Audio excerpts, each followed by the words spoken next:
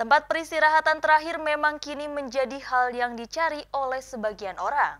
Seperti yang dibangun oleh Yayasan Dunia Sementara Akhirat Selamanya atau DSAS, bekerja sama dengan Yayasan Darut Tauhid, membuat tempat pemakaman muslim terpadu berbasis wakaf. Pihaknya berharap ini menjadi solusi untuk para muslim. Inilah tempat pemakaman muslim terpadu berbasis tanah wakaf yang diberi nama DT Memorial Park bertempat di Jalan Raya Lewi Gajah, Kampung Cisepan, Kecamatan Batu Jajar, Kabupaten Bandung Barat. Memberikan fasilitas yang nyaman juga akses yang mudah menjadi pilihan untuk konsumen. Pembangunan tanah wakaf ini total luasnya mencapai 5,2 hektar. Nantinya pembangunan makam ini ditargetkan akan selesai pada tahun depan Meski demikian, pembangunan tanah wakaf tersebut mulai banyak diminati terbukti baru dua bulan berjalan para peminat terus berdatangan. Ketua Yayasan DSAS Alfian Faudi mengatakan, DT Memorial Park merupakan pemakaman muslim terintegrasi berbasis wakaf yang konsepnya wisata islami. Pihaknya membuat senyaman dan seindah mungkin sehingga jauh dari kesan angker.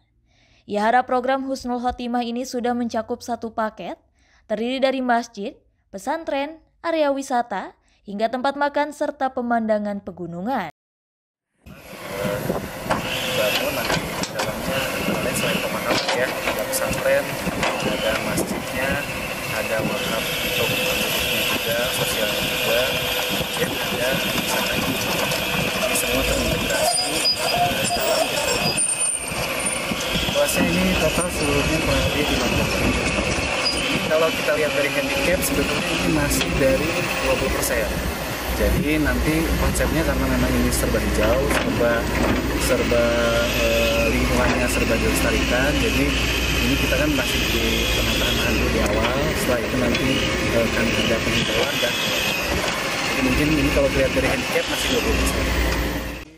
Sementara menurut salah satu konsumennya Hermansyah, ia tertarik dengan konsep rumah masa depan yang ditawarkan oleh DT Memorial Park. Aksesnya dekat, jadi kalau anak cucu datang berziarah dengan mudah dan nyaman seperti rekreasi. Ia sudah mendaftar untuk empat orang sekaligus. Akses yang menjadi apa? Aksesnya kayaknya cuma apa ke Bandung nggak begitu jauh. Kebenaran, kebenaran sih tinggal di daerah Padalarang, di baru jadi aduh pikir aksesnya lebih bagus karena ada uh, dan saya meyakini manajemennya akan lebih bagus juga lagi ya ya. Untuk saya itu jadinya kami putuskan di sini. Memang sebelumnya itu udah pernah juga cari-cari yang anu yang lain ya uh, karena masih anu belum belum ya. Uh, belum pas ya lah ya karena akses tadi ya. Jadi akhirnya ada kami putuskan di sini karena kami yakini aksesnya cukup bagus ke Bandung dekat ke tempat kami juga dekat juga anu kami yakini juga manajemennya insya Allah bagus.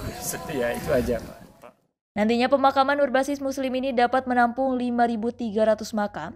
Pihaknya berharap ini menjadi solusi atas permasalahan pemakaman muslim yang semakin sulit terutama di perkotaan, yang menjadikan layanan pemakaman sesuai syariah dari mulai proses pengurusan jenazah hingga proses pemakaman dan ziarah.